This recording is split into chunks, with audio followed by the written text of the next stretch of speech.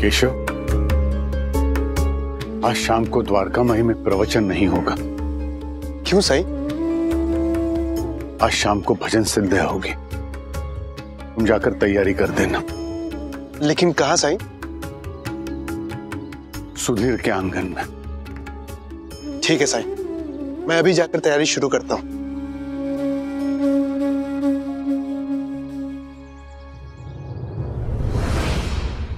साईं। साईं अच्छा हुआ आप मिल गए साईं। कब से आपको ढूंढ रहा हूँ? पूरी शिरडी छान मारी लेकिन आप कहीं नहीं दिखे। तुम द्वारका माई में इंतज़ार कर सकते थे। इतनी धूप में मुझे ढूँढने क्यों निकले? इंतज़ार ही तो नहीं होता। इंतज़ार कर करके थक गया हूँ। अब तो ऐसा लगता है कि जीवन में इंतज़ार और असफलता ही रह गए। बात क्या है? साही मेरा नाम रघुनाथ है। मैं राहता का व्यापारी हूँ। सालों से व्यापार में घाटा हो रहा है। अलग अलग लोगों के साथ अलग अलग व्यापार करके देखा, लेकिन किस्मत ही साथ नहीं दी। पहले भागीदार ने मुझे धोखा दिया। दूसरा उस काबिल नहीं था। दो और आए, और उन्होंने भी मेरा फ़ायदा उठाया। अब अकेला हूँ और असफल भी। साईं, समझ नहीं आता कि मैं क्या करूँ। साईं, कोई चमत्कार कीजिए, जिससे झट से मेरा व्यापार चल पड़े।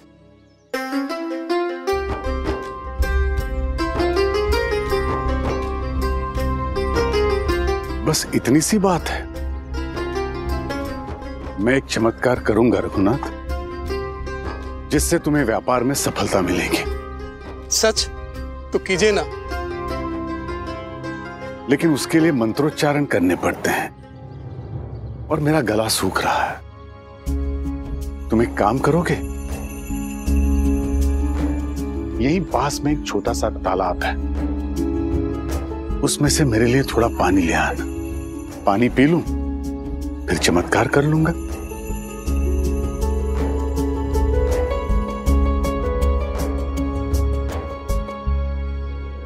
इसमें मेरे लिए पानी ले आओ। मैं यहीं इस पेड़ के नीचे छाया में बैठकर तुम्हारा इंतज़ार करूँगा। हाँ मैं तुरंत लाया।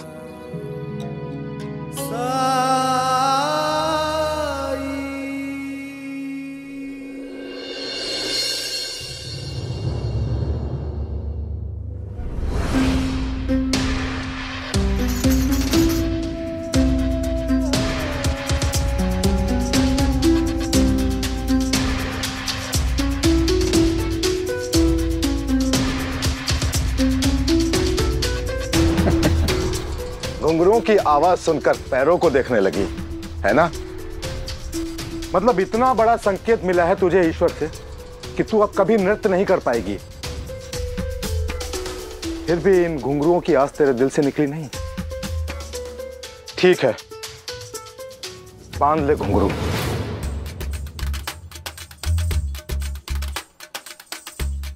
वो पहले वाले घुंघरू मैंने आग में फेंक दिए थे ना? इसलिए एक घुंघरू लेकर के आया हूँ तेरे लिए ताकि हमेशा तू इसे पहन सके। पर क्यों? ताकि तुझे हमेशा याद रहे कि इन घुंघरुओं के कारण ही आज लड़के वालों ने रिश्ता मना कर दिया। अब कोई विवाह नहीं करेगा एक अपाहिज से। तेरे बुरे दिनों का कारण है ये घुंघरू जिनसे तू इतना प्रेम करती है। तो अब भुगत अपने इस प्रेम का परिणाम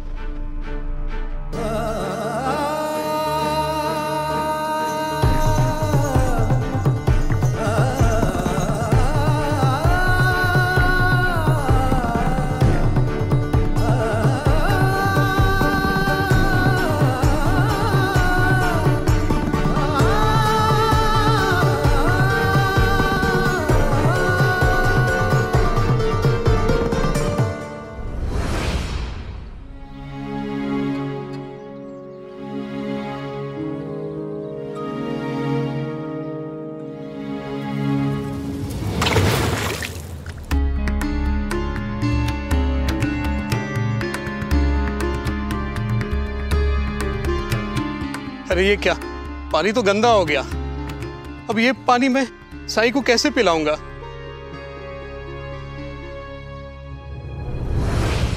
इसलिए मैं पानी लेकर नहीं आया साई। आप कहे तो किसी और प्याऊ से लेकर आ जाऊँ।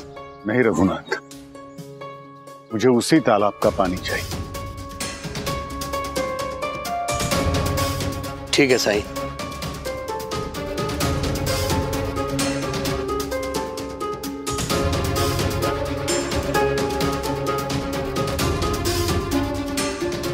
साईं क्यों नहीं मान रहे? ये पानी गंदा है। रघुनाथ एक बार फिर देखा बार बार एक ही चीज़ करने से क्या हो जाएगा साईं? मैं दो बार देख कर आया हूँ। कहीं और से पानी लाने दीजिए ना। अब मुझसे इंतज़ार नहीं होता है। चमत्कार करना है ना? तो मेहनत तो लगेगी। एक आखिरी बार देखा ठीक है।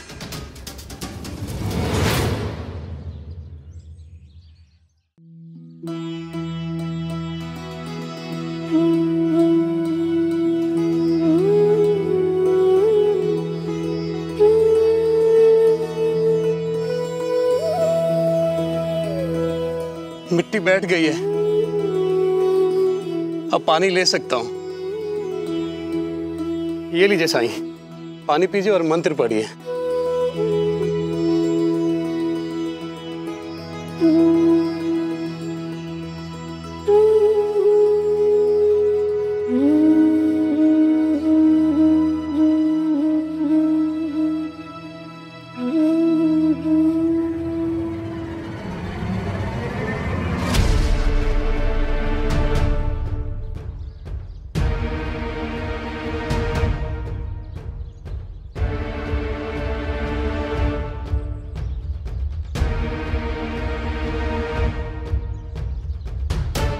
मिट्टी के बैठने का इंतज़ार करते हैं।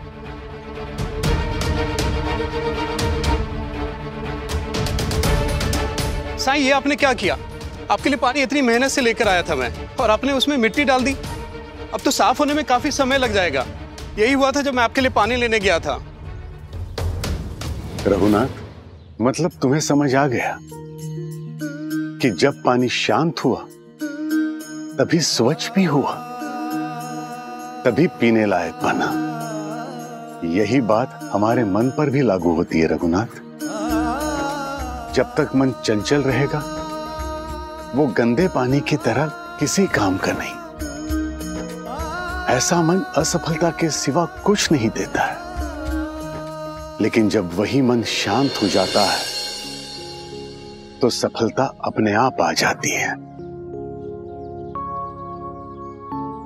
तुम्हारी असफलता का कारण, तुम्हारा चंचल मन है। तुम्हें इतना धैर्य नहीं था कि भागीदार बनाने से पहले उन लोगों के बारे में जान सको, उन्हें समझ सको। इसीलिए तुम्हें कम तजुर्बे वाले या स्वार्थी लोग मिले। और अब जब तुम अकेले व्यापार कर रहे हो तो तुम्हारा अधीर होना ही तुम्हें मुश्किलों को समझने और सुलझाने से रोक रहा है। जल्दबाजी में निर्णय ले लेते हो और नुकसान करवा बैठते हो। व्यापार के लिए जो संयम चाहिए, वो ना होने के कारण तुम्हारी मुश्किलें कम ही नहीं हो रही रघुनाथ, तुमने व्यापार बदले, भागीदार बदले। अब एक बार खुद को बदल कर भी देख लो और कोई भी बड़ा निर्णय लेने से पहले, महत्वपूर्ण निर्णय लेने से पहले ऐसे ही पानी में मिट्टी खोलकर उसके बैठने की प्रतीक्षा करो। और जब तुम प्रतीक्षा करोगे, तब राम जी का नाम लेकर तुम जो फैसला लेना चाहते हो, उसके बारे में शांत मन से सोचना। ऐसा करने से आवेग में आकर तुम कोई गलत निर्णय नहीं लोगे और सफलता मिलेगी।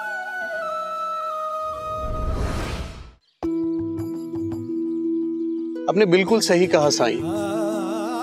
मैं हमेशा जल्दी में, आवेश में, आवेग में आकर फैसले लेता रहा। आपने जब चमत्कार की बात की तो मुझे लगा कि कोई तेज रोशनी निकलेगी, कुछ अद्भुत होगा। लेकिन जो आज धैर्य का पाठ सीखा है मैंने आपसे, मेरे लिए चमत्कार की परिभाषा ही बदल दिया आपने। राम जी भला कर। चलता हूँ साईं।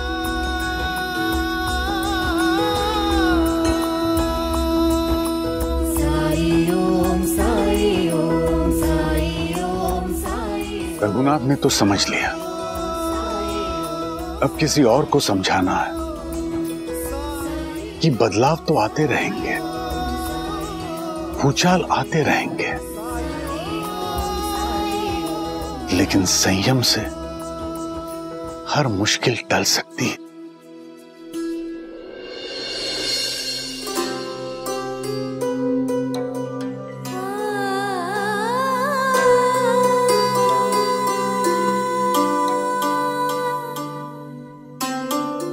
कभी भी बाबा को खुश होने का कारण नहीं दिया है। और अब तो बाबा को मेरे कारण और भी कष्ट झेलने पड़ रहे हैं। भिक्षाम देही।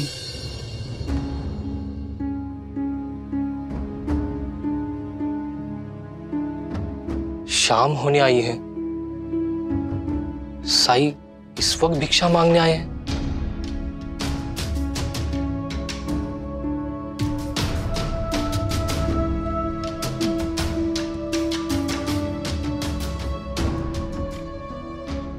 नहीं। आज मुझे सुधा के हाथ से भिक्षा चाहिए। सुधा से? लेकिन साई वो तो जानता हूँ लेकिन अगर तुम्हारा सहारा हो तो मुमकिन है।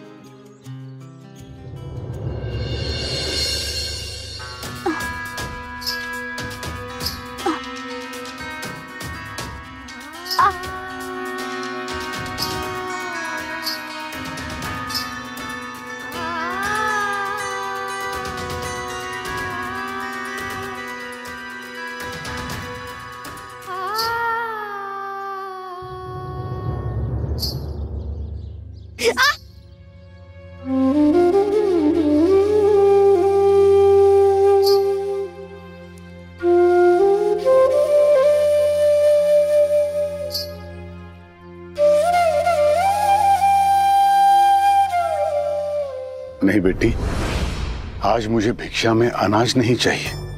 मैं चाहता हूँ कि तुम मुझे भिक्षा के रूप में एक प्यारा सा नृत्य करके दिखाओ। पापे मेरे काका के जैसे मुझे। ये जानते हुए भी कि सुधा का एक पैर। फिर आपने ऐसी भिक्षा क्यों मांगी साई? वसुदेव ये दिमाग जो है ना सब कुछ यहाँ है। अगर ये सोच ले तो पत्थर को भी ईश्वर का रूप दे सकता है। यही जन्मस्थली है। संभव की भी और असंभव की भी। ये हम पर निर्भर करता है कि हम किसे जन्म देना चाहते हैं।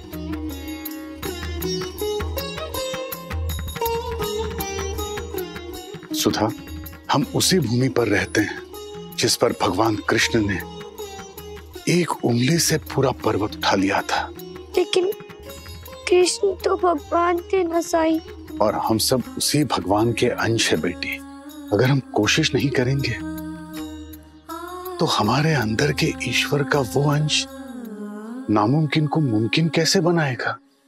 मैं आपको बहुत मानती हूँ साई, लेकिन इस वक्त मैं ही जानती हूँ कि मुझ पर क्या बीत रही है।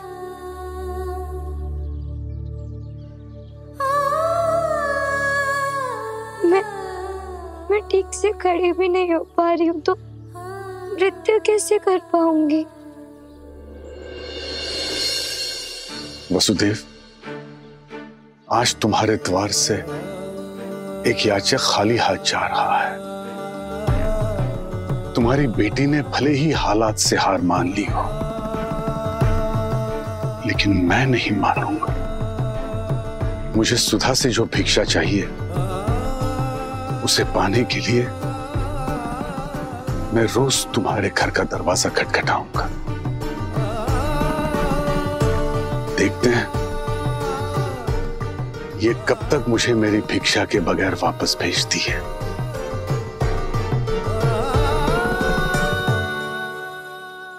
राम जी भला कर।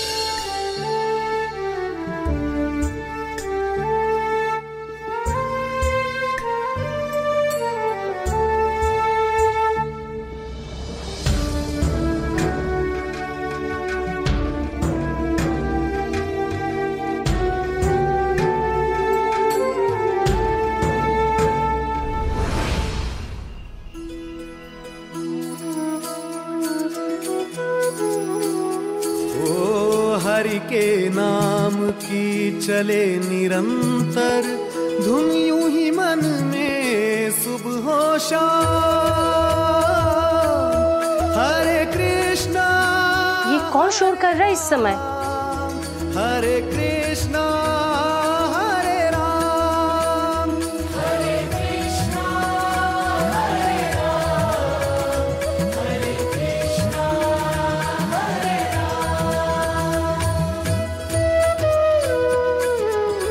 आज अचानक भजन यहाँ पर क्यों हो रहा है? ओ जिसके हृदय में करुणा मैं जो सर्वोपरि हो निर्बल का जो बने सहारा।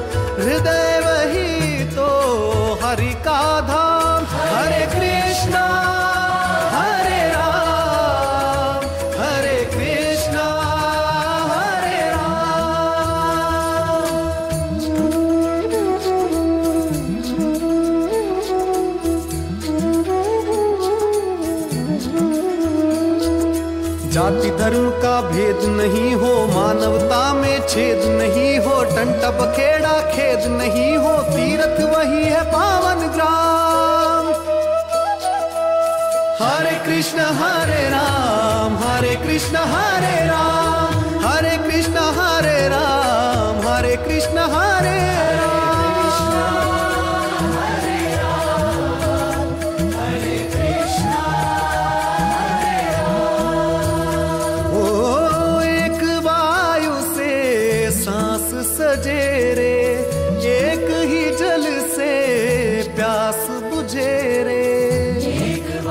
ए सुधा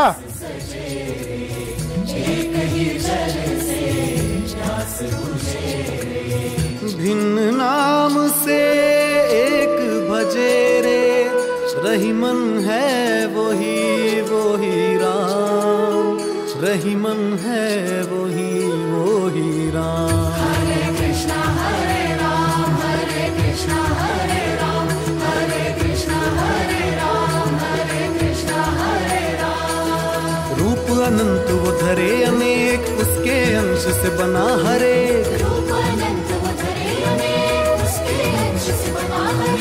जान ले सबका मालिक एक, जान ले सबका मालिक ले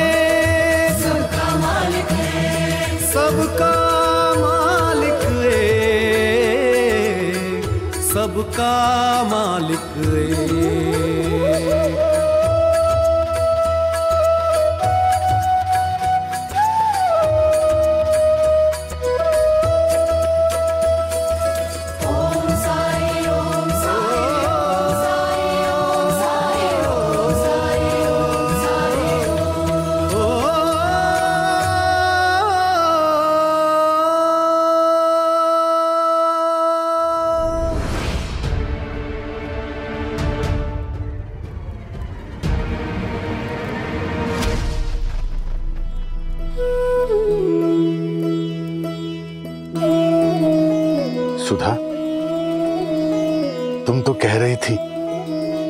कि तुम खड़ी भी नहीं रह पाओगे। लेकिन अब देखो, बिना सहारे के खड़ी हो।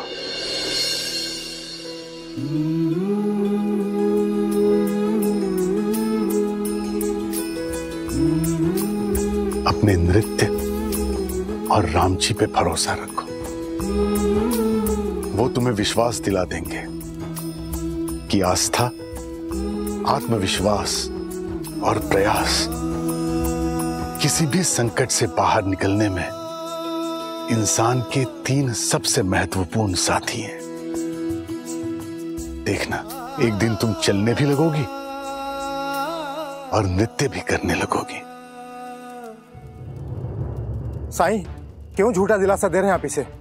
पहले के वासुदेव के प्रोत्साहन ने इसे कम नुकसान पहुँचाया है? आपकी बातों में आकर कहीं अपना दूसरा पैर भी खो बैठी। हमारे लिए मुसीबत और बढ़ जाएगी। नृत्य से जो नुकसान पहुँचा, सो पहुँचा। पर अब और नहीं।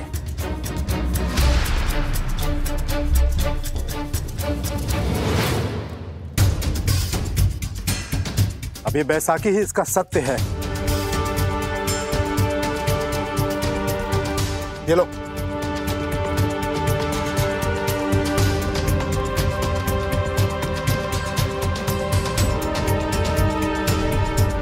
और वैसे भी, हम जैसे लोगों के लिए हमारा सम्मान ही सब कुछ होता है। मैं अपने घर की बच्ची को नाचने देकर अपनी इज़्ज़त की धज्जियाँ नहीं उड़वाना चाहता। काशिबा, जिस कला को आज तुम बुरा समझ रहे हो, देखना, एक दिन उसी के कारण तुम्हारा सर्फ गर्व से उठा होगा। और तुम उसके सबसे बड़े समर्थक होंगे। ऐसा कभी नहीं होगा साईं। हुई है सोई जो राम रची राखा को करे तर्क पढ़ावई साखा।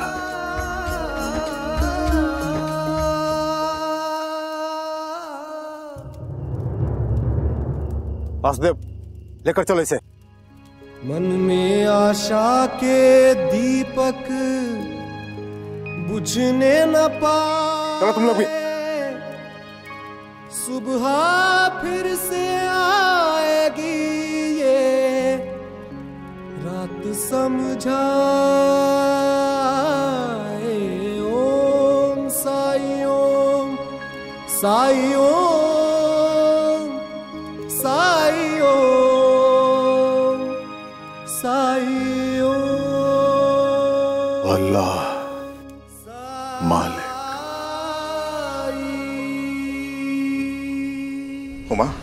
सुधा के लिए जिन लड़कों के रिश्ते आए थे उनमें से एक अभी भी इच्छुक है शादी करने के लिए। पहले तो मैं मना करने वाला था लेकिन अब लग रहा है ये रिश्ता हमारी सारी मुश्किलें दूर कर सकता है। उन्हें पता है सुधा के साथ जो हुआ है? उसके बाद भी वो लोग हम्म। अगर वो लोग राज़ी है तो आप क्यों मना करना चाह रहे थे? उमा उस आदमी की उम्र थोड़ी ज़्यादा है। ज़्यादा मतलब? वासुदेव के बराबर समझ लो। पहले भी दो बार शादी हो चुकी उसकी पढ़नी भी एक भी नहीं। पर मरने से पहले चाहता है कि उसके बच्चे हो जाए। घर बार अच्छा है नौकर चाकर भी हैं। हाँ कर दीजिए। नौकर चाकर है तो इस लड़की का काम चल जाएगा। नहीं तो कोई ऐसे वैसे घर में शादी हो गई तो गृहस्थी कौन संभालेगा? और उम्र से क्या फ़र्क पड़ता है? वैसे भी कोई जवान लड़का इस अपाहिज लड़की से शादी नहीं करने वाला है। ठीक कहती हो। आज रात वासुदेव खेत पर पहरे के लिए गया है। सुबह लौटेगा तो बात करता हूँ। बात क्या करनी है? आप जो कुछ कर रहे हैं, सुधा की भलाई के लिए तो कर रहे हैं। और घर के बड़े आप हैं। तो बस फैसला सुना दीजिए वासुदेव को।